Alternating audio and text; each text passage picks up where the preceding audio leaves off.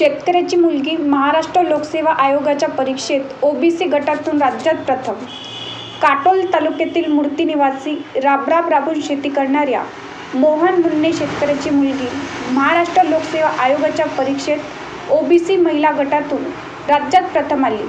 नुकत्याच पार पडलेल्या M P S C Maharashtra लोकसेवा आयोगाच्या परीक्षेत ओबीसी महिला वर्गातून काटोल तालुक्यातील मूर्तीचे सरपंच आणि शेतकरी मोहन मुन्ने यांची कन्या अंजली मोहन मुन्ने यांनी अनुक्रमे दोनशे त्र्याहत्तर गुण घेऊन राज्यातून प्रथम आल्याने राज्यात आणि जिल्ह्यात व तालुक्यात अंजली मुन्नेचे सर्व स्तरावर कौतुक होत आहे. ती आपले श्रेय आई वडील यांना देत असून आईने दिलेल्या संस्कारातून वाढली आहे.